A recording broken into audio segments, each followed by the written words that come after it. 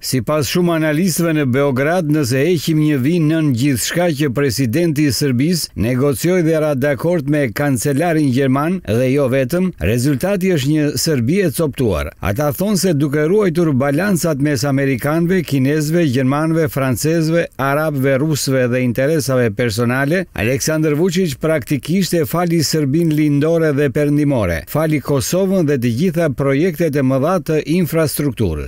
Vizita e kancelarit gjerman Olaf Scholz në Beograd përfundoi me një marrëveshje që do të rezultojë me një minierë litiumi, pasi ata kanë nevojë për mineralin për industrinë e tyre të automjeteve. U harrua vjedhja e zgjedhjeve, fakti se në Serbi nuk ka shtet ligjor apo liri mediatike dhe Vuçiç u fal për mosvendosjen e sanksioneve ndaj Rusisë dhe shumë më tepër. Megjithatë, kjo nuk është hera e parë. Fakti është se si rezultat i marrëveshjes mes presidentit të Serbisë dhe liderëve të caktuar botërorë është çeduar shumë, në kundërshtim me interesat e Serbisë, deklaroi ish-diplomati dhe ambasadori i Serbisë në Bjellorusi, Sreçko Gjukiç. Në intervistë për median serbe Nova ai tha se Aleksandër Vuçiç me shitjet dhe faljet e tij blen favorin e zyrtarëve të huaj dhe indirekt mbijetesën e tij në pushtet. Në Serbinë Lindore minierat e bakrit dhe arit i morën kinezët. Për të kënaqur arabët atyre iu dha Beogradi mbi ujë, por dhe tokë pjellore në Vojvodinë. Tani është radha e Gjermanisë për të marrë litiumin nga e gjithë Serbia Perëndimore. Tregoi ish-ambasadori duke shtuar se Francës iu dha një aeroport dhe një metro. Macron do të vijë në gusht në Serbi për shitjen e avionëve ushtarakë. Rusët morën faktin se nuk i vendosëm sanksione, kurse amerikanët u ngulën me themel në Kosovë, kujtoi Gjukiç duke theksuar gjithashtu, Tani Serbia po luan me kartën e Donald Trump në zgjedhjet e ardhshme amerikane edhe në përputhje me rrethanat e reja godina e shtabit të përgjithshëm së fundmi ka rënë në duart e dhëndrit të tij. Për këtë ka shkruar së fundmi dhe britanikja Financial Times, e cila thotë se marrëveshja është një rast studimor se si një vend i vogël i paangazhuar mund të përgatitet për kthimin e mundshëm të Donald Trump në Shtëpinë e Bardhë dhe se ajo gjithashtu pasqyron fokusin në rritje të Perëndimit ndaj Serbisë, në një kohë kur ndarja nga shpirti binjak Rusia po bëhet prioritet.